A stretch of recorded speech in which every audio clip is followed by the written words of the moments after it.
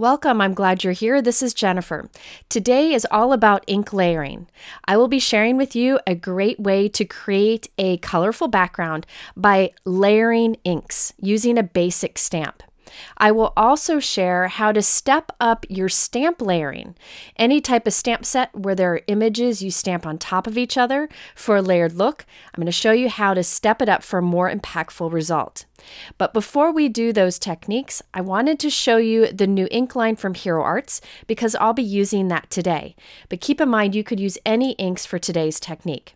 These are the new Hero Arts Core inks. However, they're not exactly new. They're revamped from the Hero Arts inks that have been around for a long time, with a few inks added. Now, if you've been watching my videos for a long time, for over, I would say 15 or 20 years, I've been using Hero Arts inks, including the shadow inks and their midtone inks. Beautiful dye inks, along with their hybrid inks that they came out with a few years later. I have found these inks have stood the test of time, and I reach for them often as kind of my go to ink because the colors are beautiful and I know the ink will dry beautifully. Now, this new ink line is different than most companies' ink lines. The reason is it is a mix of dye ink and hybrid ink. Really, Hero Arts went for colors. They went for a beautiful color palette that dries beautifully. And sometimes that meant a dye ink, and sometimes that meant a hybrid ink. But they both stamp in the same way, so you can use them together. Really, this is a great option for somebody who goes by color when stamping. If you want beautiful colors, this is a great option. As in the past, these ink pads have the raised firm felt pad, which holds up really well over time and is great for direct to paper techniques and more. Now, inside of the cap, they put a little palette so you can mix colors in that six sections of the palette, which I think is really fun too. There are re-inkers available for these inks. This is new. In the past, Hero Arts didn't have re-inkers for their dye and hybrid inks because they rarely needed re-inking. In fact, those pads that I've had for many, many years are still working great. I do know that people do like re-inkers though, and so now they are available. Now, I did ink swatches of all the different colors so you could see what they look like when they dry. I have free ink swatch downloads if you want to create your own, as I've done here. One thing I do want to mention is this ink is one of those that has something in it that allows the ink to smooth and soften as it dries, giving a solid result. So at first it'll look a little splotchy and dark, but it'll soften and smooth and give you the results that you see here.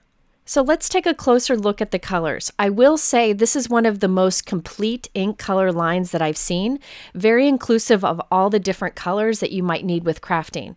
And that's something that I find very helpful. You don't have to go searching for colors. Okay, so let's start with the pinks. You can see there are beautiful pinks, some that are a little more purpley, some that are a little more red. Here you have cotton candy and azalea, which are great together. I'll be using those. And then here is the pale tomato, which is an old favorite from their original ink color line that I use a lot. I also have always loved Butter Bar, and now there's a Dandelion. Those are great true yellows. One's a little bit darker than the other. Crimson is a great Christmas red. All right, now for greens, Hero's always been strong in the green colors. Fresh Lawn and Green Hills are old favorites of mine, and now there are a few added to that really round it out. The Green Hills, Fresh Lawn, and Pine go really well together. As far as blues, there are lots of blues, which I think a lot of ink companies are missing. Hero Arts really nails the blue department. You can see there are some teals, but these summer sky and indigo are great true blues, like a bright true blue, beautiful together. Then there are some more, I guess you would say, dustier blues here. You can see the dusty blue, cornflower, stone, uh, stonewash, and nautical. Those all look great together. You can also see that cornflower is a great true blue also. I like that some of these colors can be used with others. You can mix it up. Here you can see cornflower and indigo go great together too. Then there are a few purples, there are grays and browns. Now, the grays here are my favorite of gray inks. There's granite and charcoal, which have been around for a long time in the Hero Arts line. These are great true uh, true gray colors, not too warm, which most gray inks out there are a little bit more warm. For years, I've also used the Sand and Cup of Joe as true brown colors. At the bottom there, you see antique ivory and the dove white. Those are good for creating ghost like images on dark cardstock. I'll be sure to share some techniques with that dove white ink in the future videos. They've had a white dye ink for many years, and it's one that is really fun for those soft backgrounds. By the way, the butterfly that I stamped on my ink swatches is the Critter Silhouette stamp set, in case you were interested. By the way, a few more things about this ink line. There are cardstocks that match many of these inks, and they're nice, thick, heavyweight cardstocks. And there is this little label sheet that you can get to put labels on the side of your ink pads. I will link below to a blog post that Hero Arts did that really goes into detail about these inks and how they're different or the same from their previous inks, and that may be helpful to some of you. Okay, now that we've talked about these inks, I'm going to be using them today. The techniques that I use can be done with any inks you have, especially dye or hybrid inks. Let's get started with this card. We'll first do some stepped up stamp layering to create the flamingos, and then we'll do ink layering to do the background. I will be using the Hero Arts new My Monthly Hero kit for July 2022. I use these kits often in my videos because the value is twice the cost. So it's a great way to get a lot of product for a lower price. Notice that in this kit, there are five ink cubes that are of some of the inks that I showed you earlier. I'll be using the full-size ink pads today, but if you want to try out this line of inks, this is a great opportunity to get these cubes. All right, so here is the 6x8 stamp set that's included in that kit. I will be focused on this along with the coordinating die. Note that there are four images there to create some layered flamingos. I'm going to demonstrate stamping these just as is, and then I'll also demonstrate stamping them in a way that steps up the results. I have my MISTI stamping tool, but any stamping tool or acrylic block would work. I'm starting with my lightest color, which is peony, and you'll notice it's a little bit splotchy when you stamp it. But once it dries, it will become solid and very beautiful.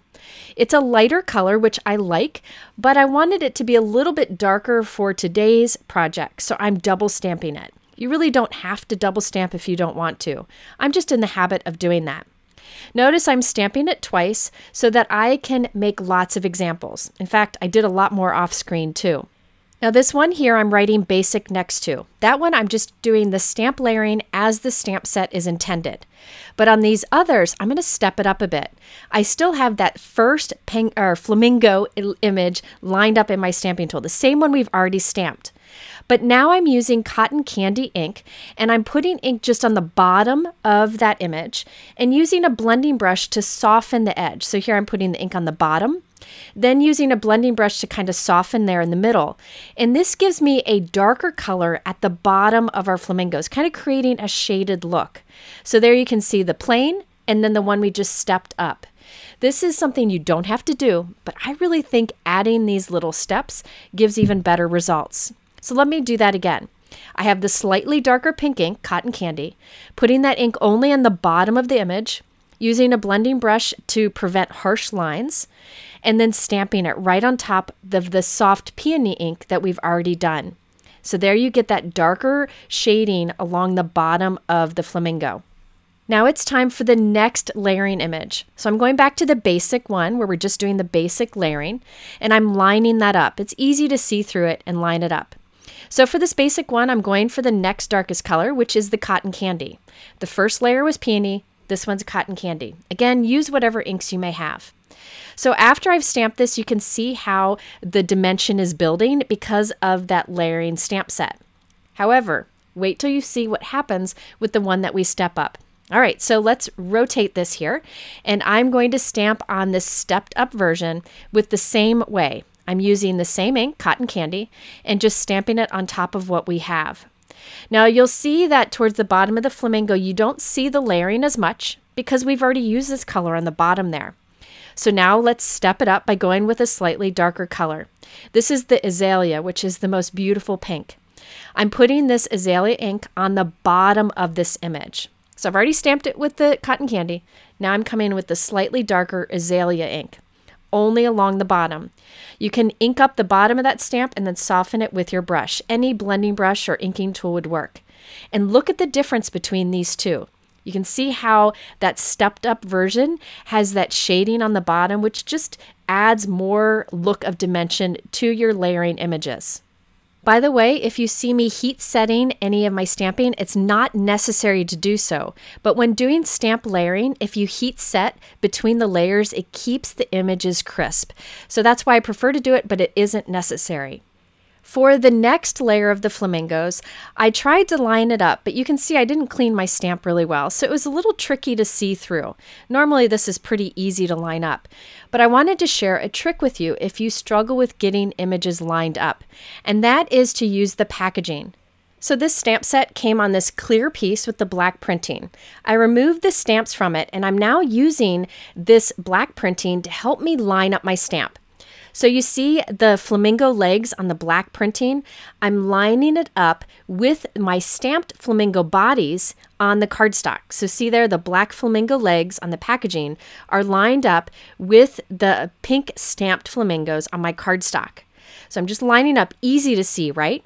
Now I'll put a magnet there to hold it in place. Now let's take that stamp and line that stamp up with the black printing. So easy to do. Now I can close the door on my stamping tool, grab that stamp, remove the packaging, and now when I stamp this, I know it'll be lined up nicely. That's a trick you can do with any layering stamps. So now this is the basic image where I'm just stamping with a darker color. This is the azalea that's so beautiful.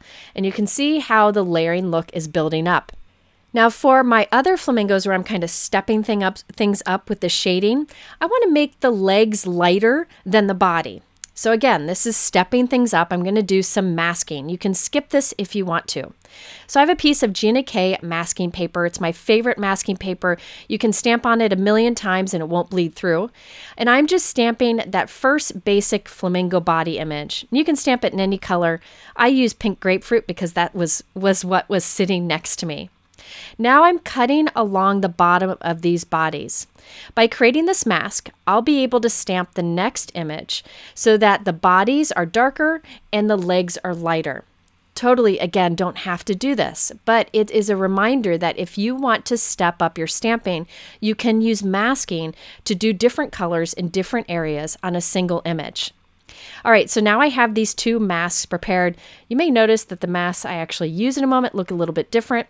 I accidentally messed these up. Okay, so now let's do the stamping on our stepped up version here. I'm using the bottom part of the mask that will block off the legs. And I line that up with the bottom of the body. And I'm inking up my stamp with Azalea ink, which is the next darkest color. And I'll stamp that. And notice the masking paper is blocking those legs. We don't need those legs there. I'm just stamping that dark color towards the bottom of the flamingo bodies. And to step this up, I'm coming in with a slightly darker color once again. This is crimson, and I'm putting that ink just towards the bottom of the flamingo bodies. You can go direct to the stamp with the ink pad and then use the brush to soften it, or just use the brush to add the ink alone. So we can remove the mask, and I'll heat set that so it stays nice and crisp. Now we need to stamp the legs. So I'll take the other half of our mask. I will place this over the bodies of our flamingos, and now we can stamp the legs alone.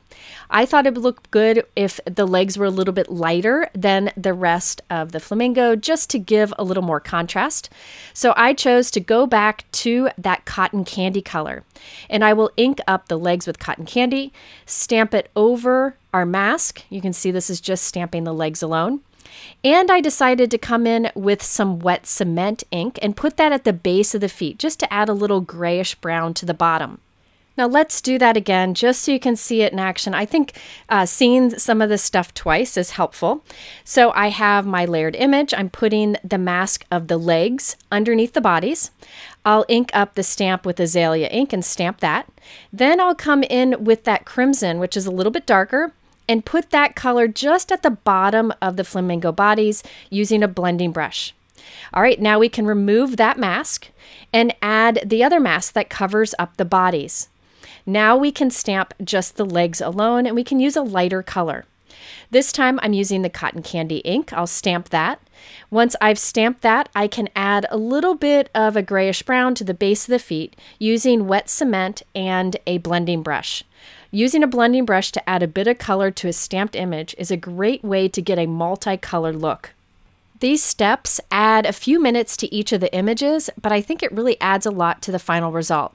All right, now for the final layering image for these flamingos, super simple. You just line up the eyeballs onto each of the flamingos. This is the basic image where I'm just stamping it as a basic layering image. And this time I am again using the packaging to line it up. So I'm lining up all the little beaks and eyes with the stamping behind it. Now I can line up the stamp with the packaging, close it, grab it, and now I can be sure that it's all lined up nicely. When you're lining up against a light ink like this, sometimes that's handy. Instead of using black, I decided to use charcoal, which is again one of my most used colors from the Hero Arts line for a long time. It's a great true dark gray.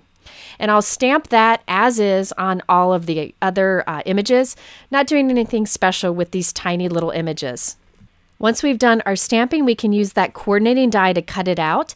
And this could be easily added to any card, a pop-up card, easel card, or even a bridge card.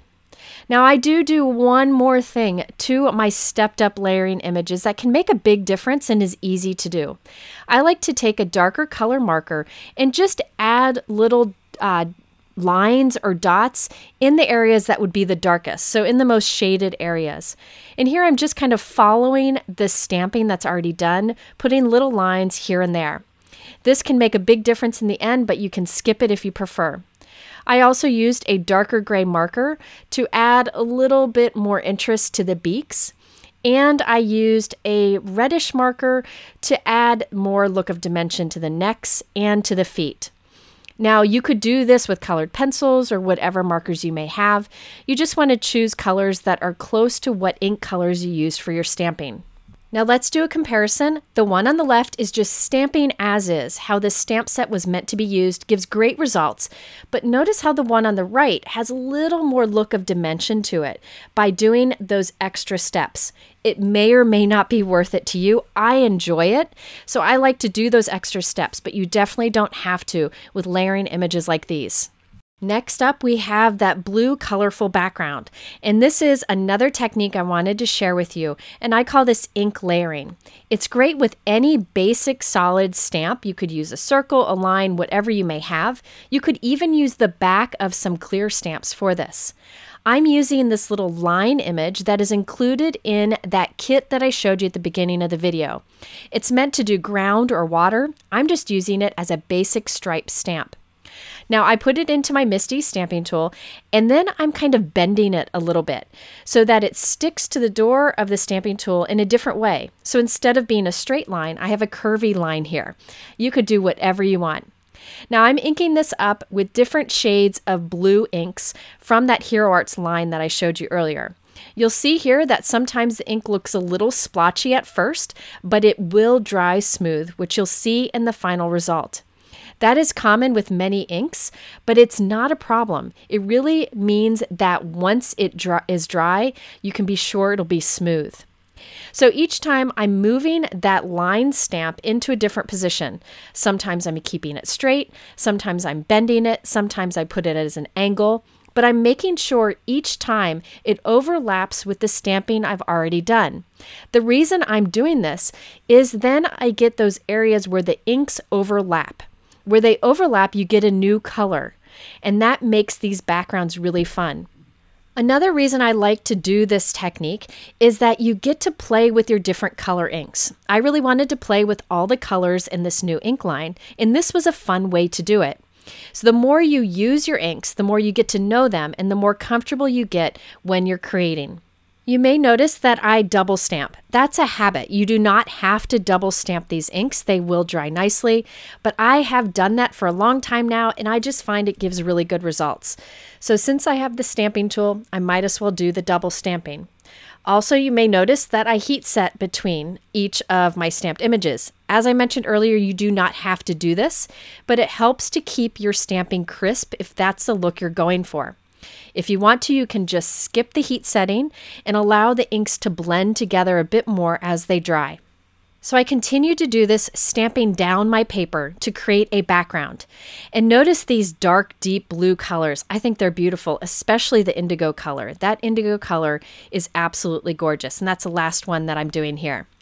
I wanted to create an oval frame to put over this. So I have cut a piece of white cardstock to four by five and a quarter inches, and I cut an oval from the center using a Hero Arts Oval Infinity die.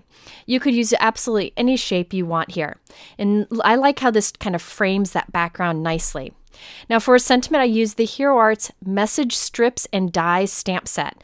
I love this set. I've used it a lot. The stamps and the dies come together. I'm just using a stamp today.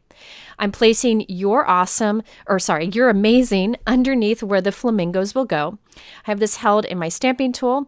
I will use my anti-static powder tool first because we'll be doing heat embossing. You will want to make sure that ink is dry on the background so that you don't get embossing powder in areas you don't want. I will then stamp Your Amazing with the Versamark ink, and I like to stamp that twice to make sure it's nice and crisp. Sometimes third time's a charm. Then I will add my white embossing powder and heat set it. Before I add the frame on top of our background, I wanted extra dimension behind it. So I cut three more pieces of white cardstock with the oval at the center. You can use scrap cardstock for this. I will then glue those frames together, giving us some dimension. So this will be three or four layers thick so that my oval stands up against the background. You can definitely skip this if you want to. I just really like that added dimension. You could use foam tape here, but it would probably get squashed in the mail, and this will hold up much, much better.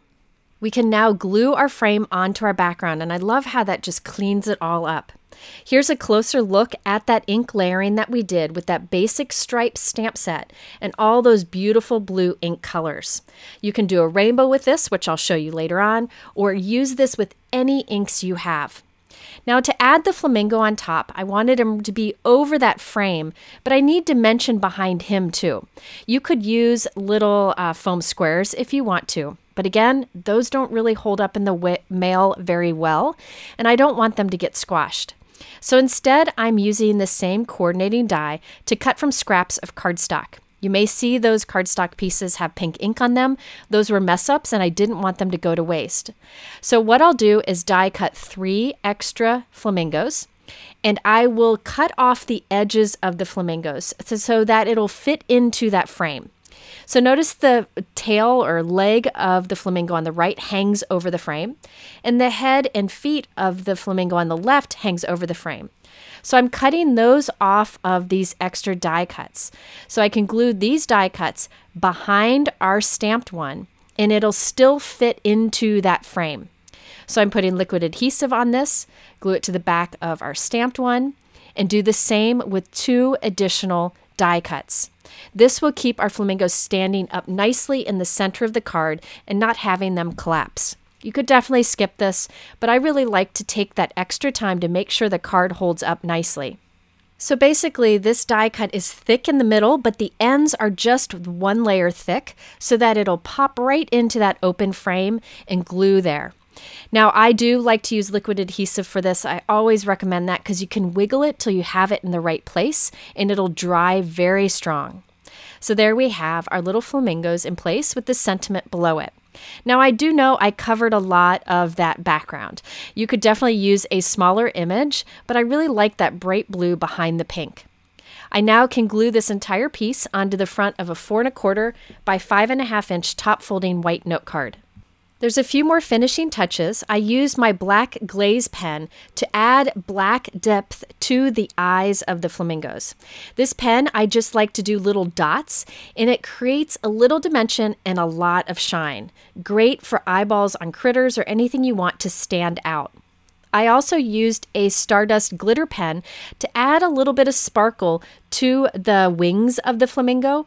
This just makes it pop a little bit more, but again, you can skip it. Or you could use glue and just regular glitter if you prefer. I use my Trinity Stamps pickup stick, which has a wax end, to pick up little bubbles that I added to the background. So I pick it up, put glue behind it, and then place it back down. And these little bubbles just play along nicely with the theme of the card. So here it is completed. I matched it up with a light pink envelope. When you look closely here, you'll see that bit of glitter on the flamingo bodies and the shine in the eyes thanks to that black glaze pen. You can also see some of that blue ink layering technique from the background. Again, I covered a lot of it up, but you did see how cool it looked, and it's a technique technique that can be used with a lot of different backgrounds. Okay, now let's use that ink layering stamping technique, but use it on die cuts. This is a great way to take any of your die cut shapes and step them up a bit. For this, I'm using the new Hero Arts Tropical Floral die set. I'll just be using the leaves from the set, but do know there are some other floral images that you could use also. I'm using the same stripe image from that July 2022 Hero Arts My Monthly Hero Kit, same one I used on the last background, and I'm stamping them with greens this time. And instead of kind of arching them to give a wavy look, I'm keeping them straight, but sometimes putting them at an angle. I'm also stamping along the bottom, then rotating my paper to stamp across the top so that I'll have two striped areas so I can die cut more pieces. Might as well do extras while I'm doing this. I always like to have extras or make extra cards. So here I'm going through just some of the different greens in the collection. Notice that sometimes it'll stamp splotchy, but once it dries, it comes nice and smooth. I am starting with the lighter colors and working my way to darker colors. Also, remember this ink will soften a little bit as it dries. But it doesn't matter because in the end you end up with beautiful solid color, as you can see here. So I did this on a couple pieces of cardstock so I could do lots of die cuts. And I'm placing the die cuts right onto this stamping and kind of lining them up so the bottom of the leaf is in the darker area and the top tip of the leaf is in the lighter area. And look at the resulting die cuts. I love that striped look on it. It'd be even more impactful if you used a variety of colors. You could also kind of plan everything out so you can use the negative space on your card too. So you have the striped negative space, but today I was just using the die cuts themselves. To create a little focal point for our leaves, I'm using the Hero Arts Looking Glass Ornate Frame die. This is one of those dies that can be used with a lot of other products to kind of step up the design. The basic design that I'm using is something that could be used with a lot of different images, not just the leaves. I cut them several times from white cardstock and I kept the square center. And we're going to do a little bit of stamping on that. I have a Hero Arts script background stamp and also my stamping tool with a sticky mat inside. I'm placing my square lined up onto the script stamp. I'll flip it over and that will hold our square in place so I can stamp straight on it. And I'm stamping with that Hero Arts sand ink, which I've used for a long time. Now this will add just a little bit of interest inside of our ornate frame. So this ornate frame is two white cardstock layers with a gold layer on top. I'm gluing that to the top center of a four and a quarter by five and a half inch white note card. And then I can glue our script stamped centerpiece into that. And notice that didn't take much effort, but it really creates this nice framed focal point on our card. And all we have to do is add our leaf on top. I die cut two additional white leaves and I cut them a little bit smaller so I could glue it behind our green stamped leaf and have it still fit into that frame, kind of like we did before with the flamingo. I'm using liquid adhesive so I can be sure to wiggle it around and get the placement just right and it'll hold very strong.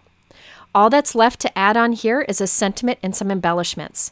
I used the Hero Arts Bird of Paradise stamp set. This has beautiful images in it, but I chose to use the Thinking of You. I like the simple style of it. I stamped that with black ink below the frames on each of these cards, and I added three gold baubles on top of the leaves just to match the frame. So you can see the stripe stamping on that die cut really steps this up. And this is a card design that you could use with anything in the center. You could use a flower, a leaf, a critter, anything. But I really feel like it draws attention to that leaf. I also created two cards with a similar design using the larger leaf. Notice that stamping on the leaf, it just adds so much to it. This time I used a small die cut butterfly from gold cardstock that I found in my extras drawer, and I stamped hello below it using black ink, and that is from the messages stamp and die set that I showed you earlier.